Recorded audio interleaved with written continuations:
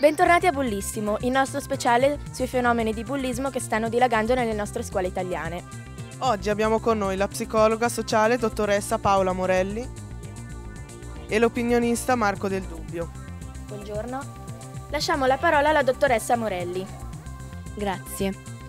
Secondo studi recenti, gli insegnanti sono poco consapevoli del problema bullismo nelle scuole in cui lavorano Ciò può essere spiegato dal fatto che il bullismo è un fenomeno nascosto di cui le stesse vittime non fanno parola perché temono di peggiorare la situazione.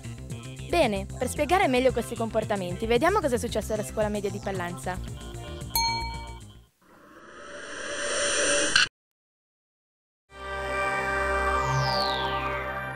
È luogo comune pensare che il bullismo si verifichi soprattutto tra maschi, ma sono sempre più frequenti questi fenomeni tra le ragazze, sotto forma di esclusione ed emarginazione psicologica.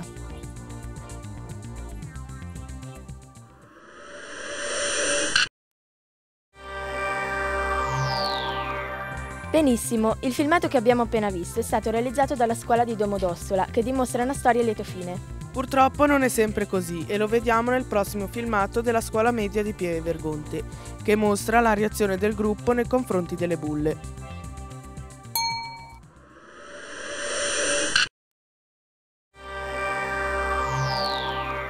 Un messaggio che mi sento di dare a tutti i ragazzi è quello di imparare a sdrammatizzare di fronte a certi fenomeni. La risata e l'ironia sono ottimi strumenti per vivere meglio il gruppo e il proprio rapporto con gli altri.